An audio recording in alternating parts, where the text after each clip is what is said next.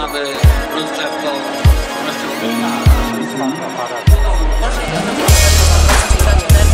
Z nami jest Małgorzata Socha. Witamy kolejny.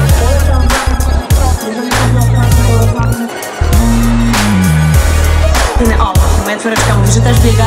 Jest to najbardziej efektywne dla mnie. E, a, a też dużą, dużą frajdę, szczególnie jak jest taka pogoda. No jutro ma być genialna pogoda, więc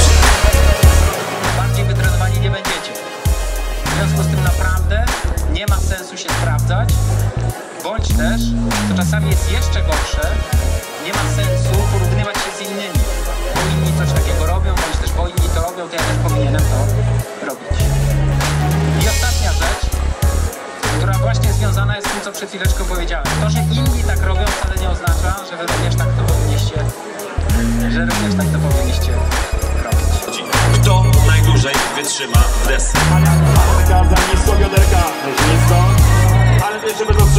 zrobić niezłe zakupy. Uwaga. A co tam jest? Ty byś nie chciał? Ależ tutaj mamy wibracje. Chłopaki walczycie. Co niesamowicie, 3 minuty moi drodzy. Oj, mamy pierwszego.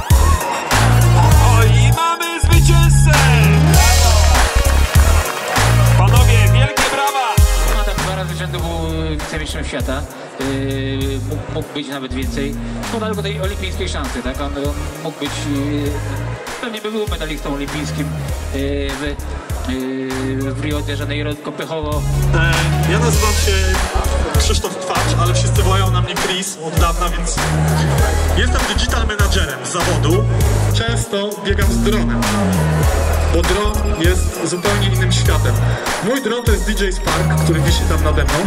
To jest najmniejsza pchełka jaka jest. Ja kupiłem drona dopiero wtedy, kiedy pojawił się Spark, czyli dron, który ważył 300 gram.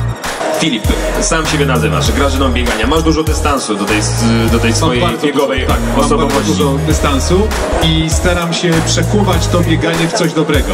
To znaczy wyciąganie kasy od y, dużych, fajnych firm e, na bardzo fajne i potrzebne cele i bardzo mi się podoba ta idea Biegam Dobrze, e, która jest e, połączona z półmaratonem warszawskim, bo cudownie jest nadać sens temu, co robimy i dla własnej przyjemności, i dla własnej potrzeby, ale Panowie, przywitanie teraz e, czekamy na sygnał od e, Joasi, która wyda komendę startową. Jeszcze ważne, Patryk, którego nie na co dzień blisko. Nie no, zajebiście. Bieganie przecież. 400 w Toruniu to nie poszło w tym. Czy ja mogę jednak poprosić o zmianę rybaka?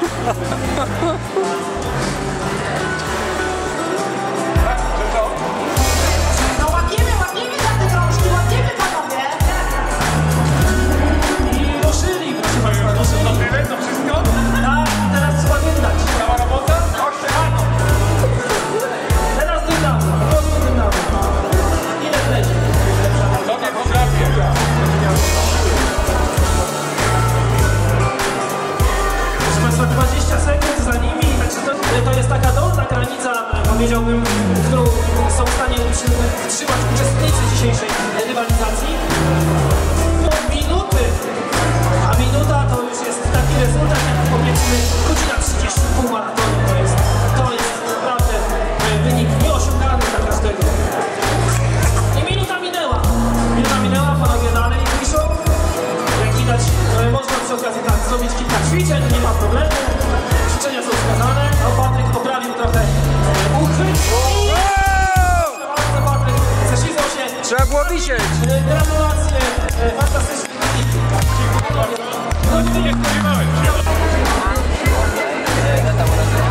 trzecie miejsce w debiucie za 27-24. Dodatkowo naj... potem e, pobiegłem w bardzo ciężkim, górzystym mar maratonie, gdzie nabiegałem swój rekord, e, rekord życiowy, to był noc Przed Wami Kasia Gorlo, Randy Ward, która opowie Wam o tym, jak to jest tworzyć związek triatlonistki, biegaczki z biegaczem, który naprawdę jest kozakiem w tej swojej dziedzinie. Co dla nas przygotowałaś, powiedz mi? Aleks, wiesz co? To znaczy trochę inny mam temat. Nie, nie będzie tam Bartka, ale Bartek będzie później.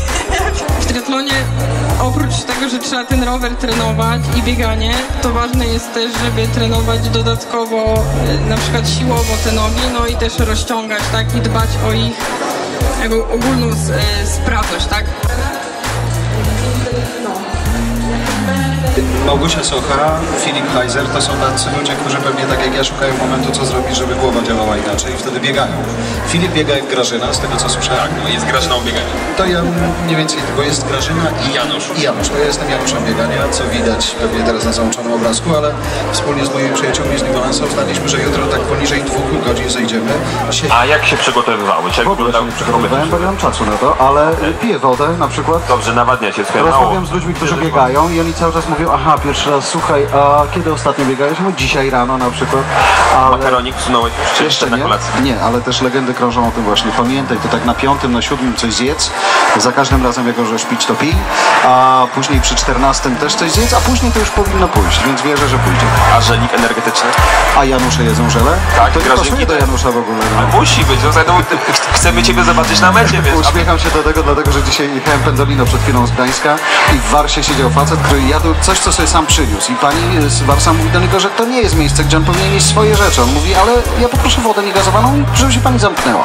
I przynosiła mu co chwilę wodę, on jadł te swoje rzeczy, zjadł i zasnął tam. Więc ja też zabieram jutro makaron na trasę, to będę brał żelę, wiesz. No.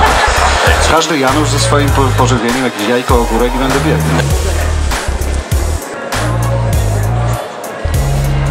Od kilku lat obserwujemy no, fantastyczną przygodę w Twoim wykonaniu biegową.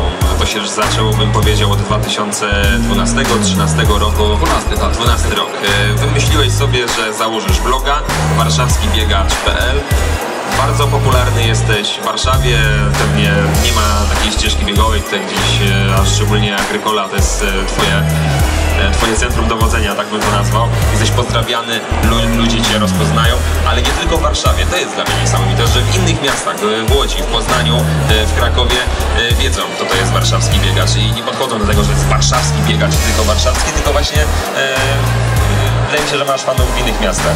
Tak, i to mnie bardzo cieszy. Ja powiem Ci szczerze, że myślałem w pewnym momencie o zmianie nazwy bloga. Polski biegacz. W ogóle na inną. Potem się tyle tych biegaczy narobiło różnych, e, bo stwierdziłem, że ten warszawski może odstraszać niektórych rzeczywiście, ale, ale nie jest tak. E, rzeczywiście to jest e, niesamowite jak biegnę i, i czasem mam taki kryzys i ktoś biegnie i tam dawaj Bartek, pozdrowiają, pytają się. E, jest niesamowicie motywujące i rzeczywiście wtedy mi się pisać, chce mi się prowadzić bloga i to jest też tak napędza w takich gorszych chwilach, także to nie tylko ja jakby sprzedaję, tak powiem, swoją wiedzę i tak dalej za pośrednictwem bloga, ale jakby dostaję też bardzo dużo do osób, które to czytają. A zmienił się, zmieniła się ta biegowa blogosfera przez te lata? Jakbyś to... No Myślę, że też trochę się zmieniło, ale tak naprawdę nie ma takich, znaczy, bo mówimy tu o blogach, mówię o blogach, nie mówię o fanpage'ach i tak dalej. Nie ma dużo takich polskich blogów e. Tak, tak naprawdę bardzo się nie zmieniła. Jakby się też zmienialiśmy. E, tutaj pewnie zasługa Kasi, e, że, że mój blog wygląda teraz tak jak był, bo dopóki się z Kasią nie spotykałem, to nie wiem, czy jakiekolwiek selfie wrzuciłem i coś napisałem bardziej od siebie, bardziej to była taka...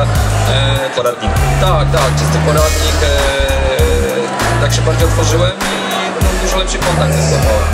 Ja, no, historia potoczyła się jak się potoczyła. Wings w Kanadzie, Wings e, w Mediolanie, który przyniósł mi tak naprawdę największą popularność chyba w Polsce, e, taką rozpoznawalność. Mm, No i który też mi takiego kopa do działania dał e, dużego. Uważam do dzisiaj, że Wings w Mediolanie był najlepiej pobiegniętym biegiem przeze mnie. E, takim absolutnym maksimum, co mogłem z siebie dać i, e, i moim takim marzeniem osobistym jest powiedz jeszcze kiedyś tak bieg. Nie wiem, może to będzie ten maraton poniżej 2.20, e, natomiast to rzeczywiście było e, niesamowite przeżycie.